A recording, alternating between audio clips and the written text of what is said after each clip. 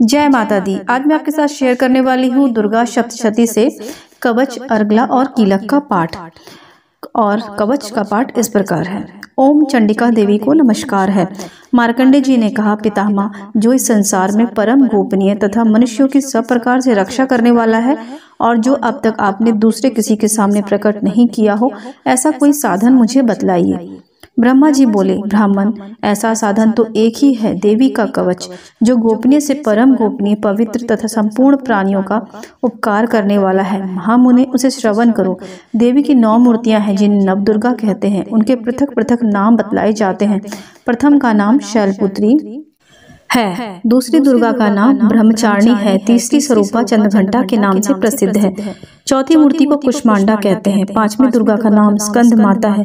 देवी के छठे स्वरूप को कात्यानी कहते हैं। सातवां कालरात्रि और आठवां स्वरूप महागौरी के नाम से प्रसिद्ध है।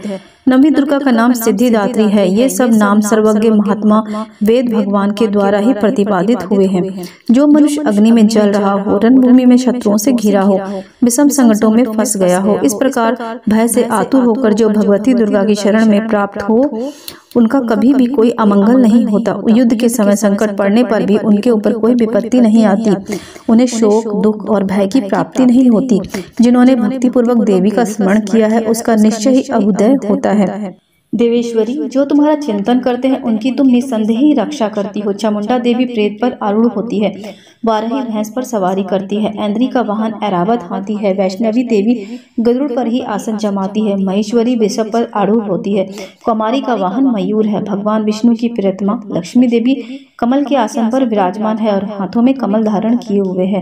वृषभ पर आरूढ़ इंद्री देवी ने श्वेत रूप धारण कर रखा है। ब्राह्मी देवी हंस पर बैठी हुई है। और सब प्रकार के आभूषण से विभूषित हैं। इस प्रकार से सभी माताएँ सब प्रकार की योग शक्तियों से संपन्न हैं। इनके सिवा और भी बहुत सी देवियाँ हैं जो अनेक प्रकार के आभूषणों की शोभा से युक्त हैं तथा नामा नाना प्रकार के रत्नों से सुशोभित हैं। ये संपूर्ण देवियाँ क्रोध में भरी हुई हैं और भक्तों की रक्षा के लिए रथ पर बैठी दिखाई देती हैं। ये शंख चक्र गदा शक्ति, हल और मुसल खेटक आदि तोमर, परशु तथा पाश, कुंद और त्रिशूल एवं उत्तम शंख, धनुष आदि अस्त्र शस्त्र अपने हाथों में धारण करती हैं। तत्व के शरीर का नाश करना, भक्तों को अभय दान देना और देवताओं का कल्याण करना यह उनके शस्त्र धारण का उद्देश्य है। महान रौद्र रूप अत्यंत घोर पराक्रम, महान बल और महान उत्साह वाली देवी, तुम महान भय का नाश करने वाली हो, तुम्हें नमस्कार है। तुम्हारी ओर देखना भी कठिन है, शत्रुओं का भय बढ़ाने वाली जगदम्बिके मेरी रक्षा करो। पूर्व दिशा में ऐंदी मेरी रक्षा करें। अग्नि कोण में अग्नि शक्ति दक्षिण दिशा में वारही तथा नैतिक कोण में खड़क धारणी मेरी रक्षा करें। पश्चिम दिशा में वारुणी और वाणव्य कोण में मृग पर सवार करने वाली देवी मेरी रक्षा करें। उत्तर दिशा में कुमारी और ईशान कोण में शूल धारणी देवी मेरी रक्षा करे ब्राह्मणी तुम ऊपर की ओर से मेरी रक्षा करो और वैष्णवी तुम नीचे की ओर से मेरी रक्षा करो। इसी प्रकार शव को अपना वाहन बनाने वाली चामुंडा देवी दशाओं दशाओं में मेरी रक्षा करे। जया आगे से और विजय पीछे की ओर से मेरी रक्षा करे। वाम भाग में अर्जिता और दक्षिण भाग में अपराजिता रक्षा करे। उद्धोतनी शिखा की रक्षा करे। उमा मेरे मस्तक पर विराजमान होकर रक्षा करे। ललाट में मलाधारी रक्षा करे और यशस्विनी देवी मेरे भों का संरक्षण करे। भों के मध्य भाग में नेत्रा और नथुनों की यमघंटा देवी रक्षा करे। दोनों नेत्रों के मध्य भाग में शंखनी और कानों में द्वारवासिनी रक्षा करे। कालिका देवी कपोलों की तथा भगवती शंकरी कानों के मूल भाग की रक्षा करे नासिका में सुगंधा और ऊपर के होठ में चर्चिका देवी मेरी रक्षा करे। नीचे के होठ में अमृत कला तथा जिहा में सरस्वती देवी मेरी रक्षा करें। कुमारी दांतों की और चंडिका कंठ प्रदेश की रक्षा करे। चित्र घंटक गले की, घंटे की और महामाया तालू में रहकर रक्षा करे। कामाक्षी थोड़ी की और सर्व मंगला मेरी वाणी की रक्षा करे। भद्रकाली ग्रीवा में और धनुधरी पृष्ठ वंश में रहकर मेरी रक्षा करे। कंठ के बाहर भाग में नील ग्रीवा और कंठ के नली में नलकुबरी मेरी रक्षा करे।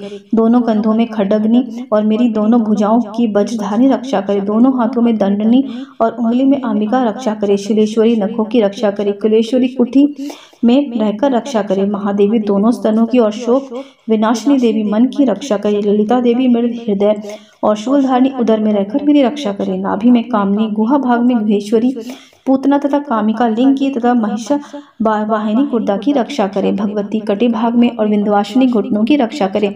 संपूर्ण कामनाओं को देने वाली महावाला देवी दोनों पिंडलियों की मेरी रक्षा करें। नरसिंह दोनों घुट्टियों की तथा तेजस्वी दोनों चरणों के पृष्ठ भाग की रक्षा करें। श्रीदेवी पैरों की उंगलियों में और तलवासनी पैरों के तालू में रहकर मेरी रक्षा करें। अपनी दाढ़ों के कारण भयंकर दिखाई देने वाली दृष्ट काली कराली देवी नखों की और उर्ध केशवनी देवी केशों की रक्षा करे रोमावलियों के छिद्रों में कौबरी तथा त्वचा की बागेश्वरी देवी रक्षा करे। पार्वती देवी रक्त मज्जा वसा मांस हड्डी और मेद की रक्षा करे। आंतों की कालरात्रि और पितृ की मुक्तेश्वरी देवी रक्षा करे। मूलाधार आदि कमल कोशों में पद्मावती देवी और कफ में चूड़ामणि देवी मेरी रक्षा करे नक के तेज की ज्वालामुखी रक्षा करे जिसका किसी से भी अस्त्र से भेदन नहीं हो सकता वह अभेदा देवी शरीर की समस्त संधियों में रहकर मेरी रक्षा करे ब्राह्मणी आप मेरे वीर की रक्षा करे छत्रेश्वरी छाया की तथा धर्म धारणी मेरे अहंकार मन और बुद्धि की रक्षा करें हाथ में वज्र धारणी करने वाली वज्र हस्ता देवी मेरे प्राण अपान वयान उदान और समान वायु की रक्षा करें। कल्याण से शोभित होने वाली भगवती कल्याण शोभना मेरे प्राण की रक्षा करे। रस रूप गंध शब्द और स्पर्श इन विषयों का अनुभव करते समय योगनी देवी रक्षा करे तथा सतगुण रजोगुण और तमोगुण की रक्षा सदा नारायणी देवी करे वारही आयु की रक्षा करे वैष्णवी धर्म की रक्षा करे तथा चकणी देवी यश कीर्ति लक्ष्मी धन तथा विद्या की रक्षा करे। इंद्राणी आप मेरे गोत्र की रक्षा करे चंडिके तू मेरे पशुओं की रक्षा करो महालक्ष्मी पुत्रों की रक्षा करे और भैरवी पत्नी की रक्षा करे। मेरे पद की सुपथा तथा मार्ग की क्षेमकारी रक्षा करे। राजा के दरबार में महालक्ष्मी रक्षा करे तथा सब और से व्याप्त रहने वाली विजया देवी संपूर्ण भयों से मेरी रक्षा करें। देवी जो स्थान कवच में नहीं कहा गया है अतएव रक्षा से रहित है वह सब तुम्हारे द्वारा सुरक्षित हो, क्योंकि तुम ही विजयशालिनी और पाप नाशिनी हो यदि अपने शरीर का भला चाहते हो तो मनुष्य बिना कवच के कहीं एक पग भी ना जाए। कवच का पाठ करने से ही यात्रा करे। कवच के द्वारा सब और से सुरक्षित मनुष्य जहाँ जहाँ भी जाता है, वहाँ वहाँ उसे धन लाभ होता है, तथा संपूर्ण कामनाओं की सिद्धि करने वाली विजय की प्राप्ति होती है। वह जिस अभिष्ट वस्तु का चिंतन करता है वह उसको निश्चय ही प्राप्त कर लेता है। वह पुरुष इस पृथ्वी पर तुलना रहित महान ऐश्वर्य का भागी होता है। कवच से सुरक्षित मनुष्य निर्भय हो जाता है। युद्ध में उसकी पराजय नहीं होती तथा वह तीनों लोक में पूजनीय होता है। देवी का यह कवच देवताओं के लिए भी दुर्लभ है। जो प्रतिदिन नियम पूर्वक तीनों संध्याओं के समय श्रद्धा के साथ इसका पाठ करता है। उसे देवी कला प्राप्त होती है। तथा वह तीनों लोगों में कहीं भी पराजित नहीं होता। इतना ही नहीं वह अपमृत्यु से रहित सौ सौ से भी अधिक वर्षों तक जीवित रहता है। मकड़ी चेचक और कोड़ आदि संपूर्ण व्याधियों नष्ट हो जाती हैं। कनेर भाग अफीम धतूरे आदि का स्थावर विष सांप बिच्छू और आदि के काटने से चढ़ा हुआ जंगम विष तथा अहिफेन तथा तेल के सहयोग आदि से बनने वाला कृत्रिम विष ये सभी प्रकार के विष दूर हो जाते हैं। उनका कोई असर नहीं होता। इस पृथ्वी पर मारन मोहन आदि जितने भी अविचारक प्रयोग होते हैं तथा इस प्रकार के जितने भी मंत्र यंत्र होते हैं वे सब इस कवच को हृदय में धारण कर लेने पर उस मनुष्य को देखते ही नष्ट हो जाते हैं। ये ही नहीं, पृथ्वी पर विचरण करने वाले ग्राम देवता, आकाशचारी देव विशेष जल के संबंध प्रकट होने वाले गण, उपदेश मात्र से सिद्ध होने वाले निम्न कोटि के देवता, अपने जन्म के साथ प्रकट होने वाले देवता, कुल देवता, माला, डाकनी, शाकनी, अंतरिक्ष में विचरण करने वाली अत्यंत बलवती, भयानक डाकनिया, ग्रह, भूत, पिचास, यक्ष, गंधर्व, राक्षस, ब्रह्म राक्षस, बेताल कुष्मांड और भैरव आदि अनिष्ट कारक देवता भी हृदय में कवच धारण किए रहने पर उस मनुष्य को देखते ही भाग जाते हैं। कवचधारी पुरुष को राजा से समान वृद्धि प्राप्त होती है। यह कवच मनुष्य के तेज की वृद्धि करने वाला और उत्तम है। कवच का पाठ करने वाला पुरुष अपनी कीर्ति से विभूषित भूतल पर अपने सुरेश के साथ साथ वृद्धियों को प्राप्त करता है। जो पहले कवच का पाठ करके उसके बाद सप्तती चंडी का पाठ करता है। उसकी जब तक वन पर्वत और काननों से रहित यह पृथ्वी टिकी रहती है तब तक यहाँ पुत्र, पौत्र आदि संतान परंपरा बनी रहती है। फिर देह का अंत होने पर वह पुरुष भगवती महामाया के प्रसाद से उस नित्य परम पद को प्राप्त होता है, जो देवताओं के लिए भी दुर्लभ है। वह सुंदर दिव्य रूप धारण करता है और कल्याण में शिव के साथ आनंद का भागी होता है और इस प्रकार देवी कवच पाठ समाप्त हुआ। अर्गला सोत्र ओम चंडिका देवी को नमस्कार है। मार्कंडे जी कहते हैं जयंती मंगला काली भद्रकाली कपालिनी दुर्गा क्षमा शिवा धात्री स्वहा और स्वधा। इन नामों से प्रसिद्ध जगदम्बिके में तुम्हें मेरा नमस्कार है। देवी चामुंडे तुम्हारी जय हो। संपूर्ण प्राणियों की पीड़ा हरने वाली देवी तुम्हारी जय हो। सब में व्याप्त रहने वाली देवी तुम्हारी जय हो। काल राति तुम्हें नमस्कार हो। मधु और कैटअप को मारने वाली तथा ब्रह्मा जी को वरदान देने वाली देवी तुम्हें नमस्कार है। तुम मुझे रूप दो जय दो और मेरे काम क्रोध आदि शत्रुओं का नाश करो। महिषासुर का नाश करने वाली तथा भक्तों को सुख देने वाली देवी तुम्हें नमस्कार है। तुम रूप दो जय दो यश दो और मेरे काम क्रोध आदि शत्रुओं का नाश करो। रक्तबीज का बध और चंडमुंड का विनाश करने वाली देवी तुम रूप दो जय दो यश दो और मेरे काम क्रोध आदि शत्रुओं का नाश करो। सुम और निशुम को तथा धूम्रलोचन का मर्दन करने वाली देवी तुम रूप दो जय दो यश दो और मेरे काम क्रोध आदि शत्रुओं का नाश करो सबके द्वारा वंदित युगल चढ़ने वाली तथा संपूर्ण सौभाग्य प्रदान करने वाली देवी तुम रूप दो जय दो यश दो और मेरे काम क्रोध आदि शत्रुओं का नाश करो। देवी तुम्हारे रूप और चरित्र अचिंत्य हैं। तुम समस्त शत्रुओं का नाश करने वाली हो। रूप दो जय दो यश दो और काम क्रोध आदि शत्रुओं का नाश करो। पापों को दूर करने वाली चंडिके जो भक्ति पूर्वक तुम्हारे चरणों में सर्वदा मस्तक झुकाते हैं। उन्हें तुम रूप दो जय दो यश दो और उनके काम क्रोध आदि शत्रुओं का नाश करो रोगों को नाश करने वाली चंडिके जो भक्ति पूर्वक तुम्हारी स्तुति करते हैं, उन्हें रूप दो, जय दो, यश दो और उनके काम क्रोध आदि शत्रुओं का नाश करो। चंडिके इस संसार में जो जो भक्तिपूर्वक तुम्हारी पूजा करते हैं, उन्हें रूप दो, जय दो, यश दो और उनके काम क्रोध आदि शत्रुओं का नाश करो। मुझे सौभाग्य और आरोग्य दो, परम सुख दो, रूप दो, जय दो, यश दो और मेरे काम क्रोध आदि शत्रुओं का नाश करो। जो मुझसे द्वेष रखते हैं, उनका नाश और मेरे बल की वृद्धि करो। रूप दो, जय दो, यश दो और मेरे काम क्रोध आदि शत्रुओं का नाश करो। देवी, मेरा कल्याण करो, मुझे उत्तम संपत्ति प्रदान करो, रूप दो, जय दो, यश दो और मेरे काम क्रोध आदि शत्रुओं का नाश करो। अंबिके, देवता और असुर दोनों ही अपने माथे के मुकुट की मणियों को तुम्हारे चरणों पर घिसते हैं। तुम रूप दो, जय दो, यश दो और मेरे काम क्रोध आदि शत्रुओं का नाश करो। तुम अपने भक्तों को विद्वान, यशस्वी और लक्ष्मीमान बनाओ तथा रूप दो जय दो यश दो और मेरे काम क्रोध शत्रुओं का नाश करो। प्रचंड दैत्यों को दर्पण दर्प का दलन करने वाली चंडिके मुझे शरणागत को रूप दो जय दो यश दो और मेरे काम क्रोध आदि शत्रुओं का नाश करो। चतुर्मुख ब्रह्मा जी के द्वारा प्रशंसित चार भुजा धारणी परमेश्वरी तुम रूप दो जय दो यश दो और काम क्रोध आदि शत्रुओं का नाश करो। देवी अंबिके भगवान विष्णु नित्य निरंतर भक्ति पूर्वक तुम्हारी स्तुति करते हैं। तुम रूप दो जय दो यश दो और काम क्रोध आदि शत्रुओं का नाश करो। हिमालय कन्या पार्वती के पति महादेव जी के द्वारा प्रशंसित होने वाली परमेश्वरी, तुम रूप दो, जय दो, यश दो और मेरे काम क्रोध आदि शत्रुओं का नाश करो। शचिपति इंद्र के द्वारा सद्भाव से पूजित होने वाली परमेश्वरी, तुम रूप दो, जय दो, यश दो और काम क्रोध आदि शत्रुओं का नाश करो। प्रचंड भुज, दंडों वाली दैत्यों का घमंड चूर करने वाली देवी, तुम रूप दो, जय दो, यश दो और काम क्रोध आदि शत्रुओं का नाश करो। देवी अंबिके तुम अपने भक्तों जनों को सदा असीम आनंद प्रदान करती रहती हो। मुझे रूप दो जय दो यश दो और मेरे काम क्रोध आदि शत्रुओं का नाश करो। मन की इच्छा के अनुसार चलने वाली मनोहर पत्नी प्रदान करो जो दुर्गम संसार सागर से तारने वाली तथा उत्तम कुल में उत्पन्न हुई हो जो मनुष्य इस सूत्र का पाठ करके सप्तशती रूपी महासूत्र का पाठ करता है। वह सप्तशती की जब संख्या से मिलने वाले श्रेष्ठ फल को प्राप्त होता है।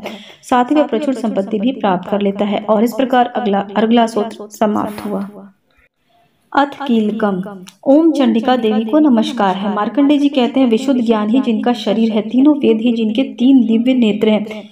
जो कल्याण प्राप्ति के हेतु हैं तथा अपने मस्तक पर अर्धचंद्र का मुकुट धारण करते हैं। उन भगवान शिव को नमस्कार है। मंत्रों का जो अभी कीलक है अर्थात मंत्रों की सिद्धि में विघ्न उत्पन्न करने वाले शाप रूपी कीलक का जो निवारण करने वाला है उस सप्तशती स्त्रोत्र को संपूर्ण रूप से जानना चाहिए। यद्यपि सप्तशती के अतिरिक्त अन्य मंत्रों के जप में जो निरंतर लगा रहता है वह भी कल्याण का भागी होता है। उससे भी उच्चाटन आदि कर्म सिद्ध होते हैं तथा उससे भी समस्त दुर्लभ वस्तुओं की प्राप्ति हो जाती है। तथापि जो अन्य मंत्रों का जप ना करके केवल इस सप्तशती का नाम से सोत्र से ही देवी की स्तुति करते हैं उन्हें स्तुति मात्र से ही सचिदानंद स्वरूपा पिंडी देवी सिद्ध हो जाती है। उन्हें अपने कार्य की सिद्धि के लिए मंत्र औषधि तथा अन्य किसी साधन के उपयोग की आवश्यकता नहीं रहती बिना जप के ही उनके उच्चाटन आदि समस्त अभिचारक कर्म सिद्ध हो जाते हैं। इतना ही नहीं उनकी संपूर्ण अभिष्ट वस्तुएँ भी सिद्ध हो जाती हैं। लोगों के मन में यह शंका थी कि जब केवल सप्तशती की उपासना से अथवा सप्तशती को छोड़कर अन्य मंत्रों की उपासना से भी समान रूप से जब कार्य सिद्ध होते हैं तब इसमें सबसे श्रेष्ठ कौन सा साधन है? लोगों की शंका को सामने रखकर भगवान शंकर ने अपने पास आए हुए जिज्ञासु को समझाया कि यह सप्तशती नामक संपूर्ण सोत्र ही सर्वश्रेष्ठ एवं कल्याणमय है तदंतर भगवती चंडिके के सप्तशती नामक सूत्र को महादेव जी ने गुप्त कर दिया। सप्तशती के पाठ से जो पुण्य प्राप्त होता है उससे कभी भी समाप्ति नहीं होती किंतु अन्य मंत्रों के जप जन्य से पुण्य की समाप्ति हो जाती है। अतः भगवान शिव ने अन्य मंत्रों की अपेक्षा जो सप्तशती की श्रेष्ठता का निर्णय लिया उसे यथार्थ ही जानना चाहिए। अन्य मंत्रों का जप करने वाला पुरुष भी यदि सप्तशती के सोत्र अथवा जप का अनुष्ठान कर ले तो वह भी पूर्ण रूप से कल्याण का भागी होता है इसमें तनिक भी संदेह नहीं है जो साधक कृष्ण पक्ष की चतुर्दशी अथवा अष्टमी को एकाग्रचित होकर भगवती की सेवा में अपना सर्वस्व समर्पित कर देता है और फिर उसे प्रसाद से रूप से ग्रहण करता है उस पर भगवती की कृपा बनी रहती है। अन्यथा उनकी कृपा प्राप्त नहीं होती। इस प्रकार सिद्धि से प्रतिबंधक रूप से कीलक द्वारा महादेव जी ने इस सूत्र को कीलित कर रखा है। जो पूर्वोक्त रीति से निष्कीलन करके इस सतस्ती का प्रतिदिन स्पष्ट उच्चारण पूर्वक पाठ करता है, वह मनुष्य सिद्ध हो जाता है। वही देवी का पार्षद होता है, वही गंधर्व भी होता है, सर्वत्र विचर रहने पर भी इस संसार में उसे कहीं कहीं भी भय नहीं रहता, वह अपमृत्यु के वश में नहीं पड़ता तथा देह त्यागने के अंतरक्त मोक्ष प्राप्त कर लेता है। अतः कीलक, कीलन को जानकर उसका परिहार करके ही सप्तशती का पाठ आरंभ करें। जो ऐसा नहीं करता, उसका नाश हो जाता है। इसलिए कीलक और निष्कीलन का ज्ञान प्राप्त कर लेने पर ही यह सूत्र निर्दोष होता है और विद्वान पुरुष इस निर्दोष सूत्र का ही पाठ आरंभ करते हैं। स्त्रियों में जो कुछ भी सौभाग्य आदि दृष्टि गोचर होता है, वह सब देवी के प्रसाद का ही फल है। अतः इस कल्याण में सूत्र का सदा जप करना चाहिए। इस सूत्र का मंद स्वर से पाठ करने पर स्वलक फल की प्राप्ति होती है और उच्च स्वर का पाठ करने पर पूर्ण फल की प्राप्ति होती है।